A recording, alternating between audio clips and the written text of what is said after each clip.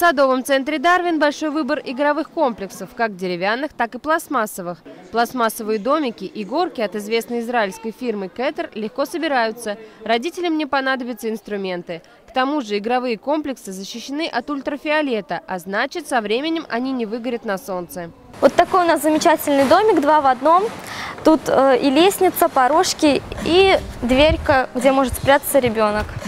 Пока дети будут веселиться, родители смогут отдохнуть от трудов, используя садовую мебель. В садовом центре Дарвин появились новые поступления. Мебель из э, натурального ротанга. Ротанговая мебель сделана из экологически чистых материалов. Она пропитана специальной жидкостью, которая защищает ее от влаги.